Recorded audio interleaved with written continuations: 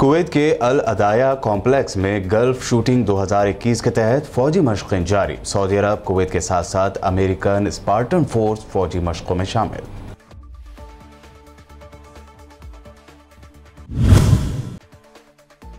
UAE के prince Sheikh Mohammed bin Zayed Al Nahyan करेंगे तुर्की का दौरा। तुर्की और यूएई के दरमियान टूटेगी दीवार, बरसों से ठंडे पड़े रिश्तों में आएगी बहार।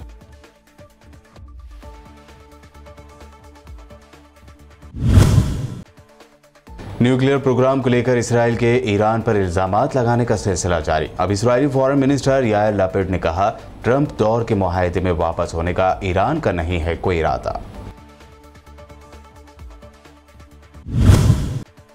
त्रिपुरा में फिरका वाराना तशद की ग्राउंड रिपोर्टिंग करने वाली दो खातून सहाफ़ी आखिरकार जमानत पर हुई। रिहा, त्रिपुरा हुकूमत ने कहा, मुस्लिम कम्युनिटी को मुतहद करने की दोनों जर्नलिस्ट कर रही थी कोशिश, भड़काने का था इरादा। अब राजस्थान में होगी एमआईएम की एंट्री बैरिस्टर असदुद्दीन ओवैसी का ऐलान। राजस्थान की 2023 असम्बली इलेक्शन में किस्मत आजमाई की मजलिस। जल्द राजस्थान में शुरू होगा पार्टी का काम।